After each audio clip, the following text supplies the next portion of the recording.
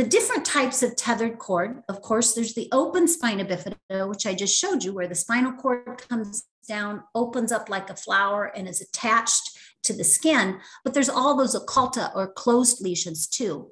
The most frequent being a lipomyelomeningocele, which is where the fat has early access. The, the mesoderm can get in and attached to that neuroectoderm.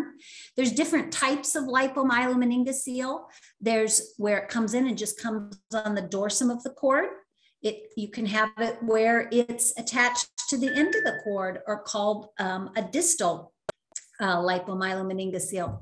The more challenging ones are the transitional, where it comes in and it may be dorsal, but it also involves those roots. Many times it involves the dorsal roots. Rarely you can see it also involve the motor roots, which are on the ventral side and can be on the ventral side of the cord, which I don't need to tell you. This would be very challenging, right? To untether and not injure the nervous system.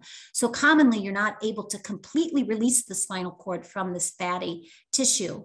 The last type of lipomyelomeningocele is what Dr. Pang put forth as a chaotic, where the nerve roots are just randomly going through the fatty tissue. And again, that is very uncommon, but impossible to get completely untethered.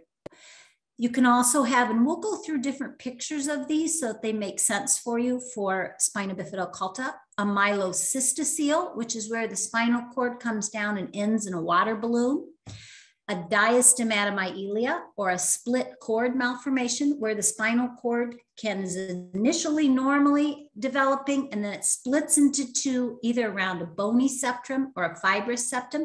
And then it may remain two separate cords or it may come back together into a single cord before it ends in either a fatty tumor fatty mass like a lipoma or a fatty filum a dermal sinus tract or a meningocele manqué. And if you've never heard of meningocele manqué, I don't fault you. I'd never heard of that until I was the fellow in pediatric neurosurgery. And what Dr. McLone used to say is that one's the reverse of the other. Remember that the nervous system comes from the ectoderm, right? The outer layer of, of the embryo and the tissue that's going to become the spinal cord. When it pulls away from the skin, it can pull in attractive skin, and that's known as a dermal sinus tract.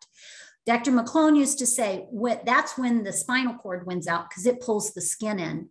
When the skin wins, it pulls out aberrant nervous tissue. And in truth, they look exactly the same when you operate on these.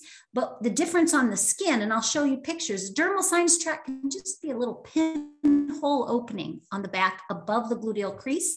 The meningocele manqué almost looks like a cigarette burn. It's just where it's just not fully developed epithelium. And then lastly, the thickened filum or the low-lying conus. Hey everyone, Ryan Rad here from neurosurgerytraining.org. If you like that video, subscribe and donate to keep our content available for medical students across the world.